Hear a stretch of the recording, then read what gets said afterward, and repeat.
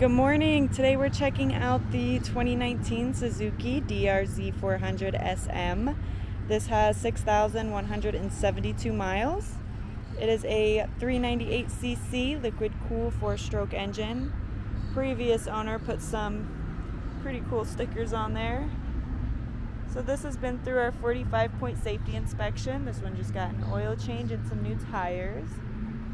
This is a five speed transmission. The engine has the push to start. This Supermoto has fully adjustable suspension and strong spoked wheels.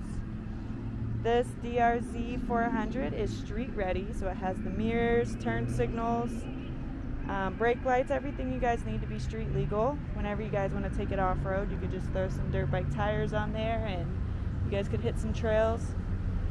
If you guys are interested in checking this bike out, we're at 3930 South High Street in Columbus, Ohio or you can call our sales team at 614 917 1350.